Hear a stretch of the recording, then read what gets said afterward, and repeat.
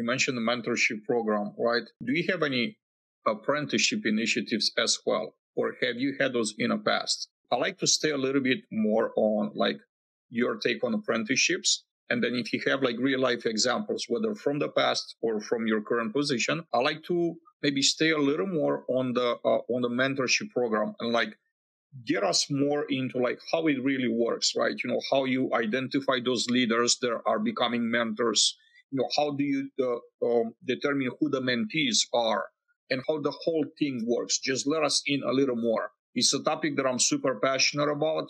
And I know that this is so valuable. So many other companies are not doing. Actually, most companies out there aren't doing. They don't have initiatives like this. And it'll be extremely valuable for you to share with us, with the audience here, like how it's done at your company or how you've done it in the past. So maybe others could inspire, you know, could get inspired and start similar programs.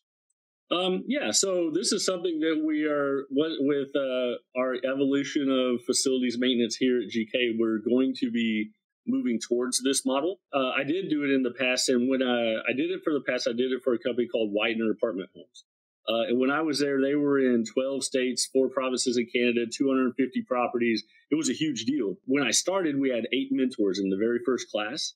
Uh, by the time I left there, we had over 50. Uh, so we had one mentor for every five properties. What we were able to do is, you know, we saw a need for this early on. And this was like one of the first things that Weidner asked me to do when I went there. What I did was I took an approach that because with the experience that I did have, right, I didn't get a lot of mentorship. I did a lot of things trial and error. I, for a while, I will admit, you know, I was a parts changer person. It was broken. I would just change parts until it worked again. I didn't know why it broke. I didn't know how. I just kept changing things and then it worked. I was like, okay. And then I walk off and go do something else.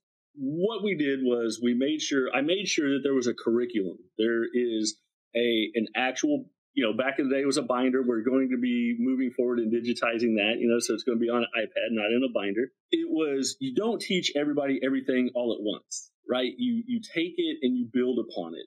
And so the very first thing is just understanding the property management philosophy. What is this business? How do you contribute to the business? Policies, procedures, all those good things. And then you go into very simple things, curb appeal, uh, and things that build onto painting and caulking that build into millwork. So doors, cabinets, uh, all of those things. Then that builds into, you know, electrical, plumbing. Electrical and plumbing take you into appliances because usually in appliances you deal with both of those things.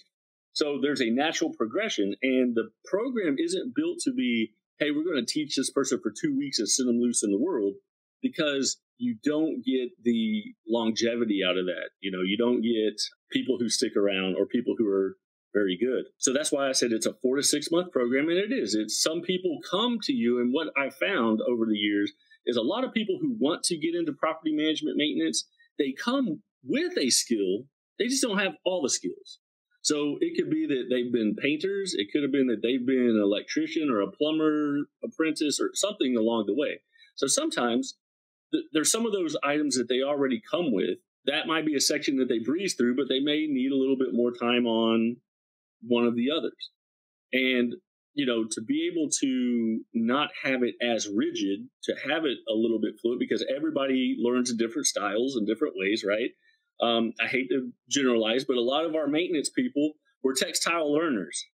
We've got to put our hands on it. We got to do it time and time again and then we retain that information and then we go about our business and we won't do it for six months but when it gets back in front of us we just do it again. So that's the thing. It's built on not only the different types of things we see in everyday maintenance and really the end of that program for the trainee is to get them to be a competent turn tech or you know what i would call a tech one in the industry. And then they still need to build their troubleshooting skills and everything from there but it's First time the mentor shows them how to do something and they check off a box.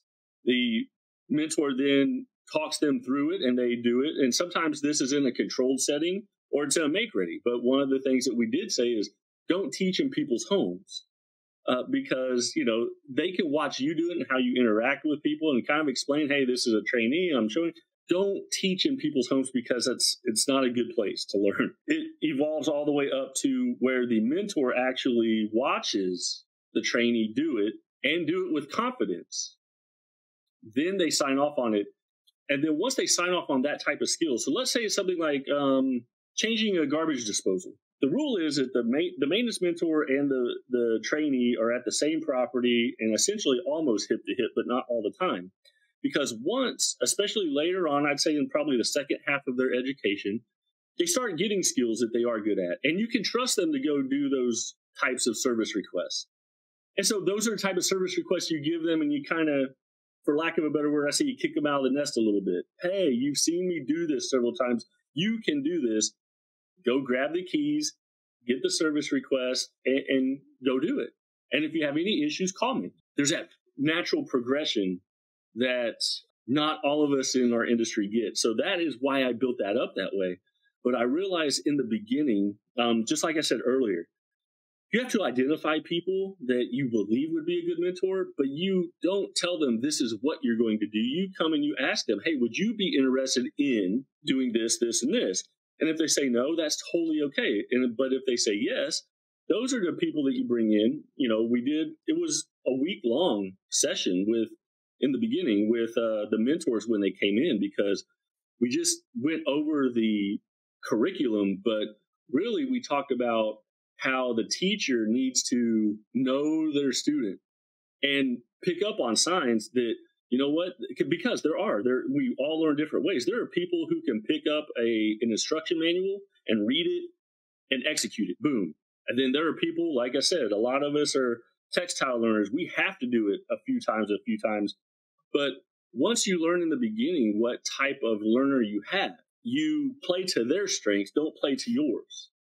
And so it was a little bit, you know, getting people outside of their comfort zone a little bit and and trying to realize those things. But once we did at Weidner, before we started that program, maintenance tech was the highest turnover position in the company. Um, followed short, you know, followed by maintenance supervisor. Once we started the, you know, after about two years of doing this program. Maintenance tech was then the second highest retained position in the company, right behind maintenance supervisor. So when you get that type of consistency on the properties, then you're able to boost the efficiency. So that is what I learned in you know my first you know actual probably couple of years of implementing that program. And now we're going to build on it even further, you know, in its next iteration which is, um, you know, this is the thing is we partnered with a lot of vocational schools in different areas.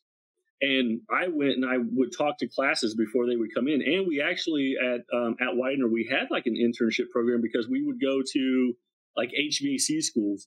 And to tell you the truth, sometimes these people get into these schools and they think it's going to be awesome, and then they decide, man, I just don't want to do just HVAC but I'm already here. I might as well finish out. What I did is I combined, hey, we have an apprenticeship program. We're going to pay you X amount of dollars for X amount of hours. Usually it was a 20 hour a week because they're still finishing up their school, right? But what we did to satisfy their school's credentials or rules, the school said that they need to work on HVAC 50% of the time. Great. Guess who got to do all the preventative maintenance for the HVAC? Cleaning the coils, changing the filters, checking, you know, checking the um, temperatures and pressures. Yeah, and it, it, was a good way for them to learn. But then the other half of the time that they were there, they were in make readies. They saw our business, and then at the end, if we, you know, they gave us an opportunity. I say it was a an extended test drive. It was a test drive for both parties. You know, if if we thought that they'd be good for us, and they were very interested in coming in, we made them an offer, and they started out as a maintenance tech and go on up from there that is a little bit of the difference. I think we we look at we look for people in, from different backgrounds, and then also too we put the right people in the program. So I found out early on that if somebody comes to you and they have seven years of maintenance tech experience, this is not the program for them. Uh, because they already have preconceived notions that they know how to do certain things. And even if somebody tells them how to do it differently or another style of doing it, they're not going to adjust. They're not, you know, they don't want to adjust or adapt. But when you bring somebody in and they understand that their job from the beginning is learning how to do this, then that is a much easier transition, or it's a, it's a much easier road for them and for the mentors. The program was very heavy on promoting from within, taking those, you know, groundskeepers or porters and putting them into this program because, you know, they start helping out in make readies here and there and they start doing some light maintenance here and there. And it, once again, it's the natural progression. And my goal, and this is what I would tell all of my, is still what I tell my mentors and my people that I bring in. You know, I remember what my career was like the first six months in. And if we can make them so much better their first six months in, then that is our goal. We, you know, to answer the questions before they need to ask them. Uh, because once again, we don't always have the confidence to ask. And depending on what kind of situation you're in, you may ask a question and the way that you were treated may determine if you're going to ask another question or are you just going to be a parts changer for a while.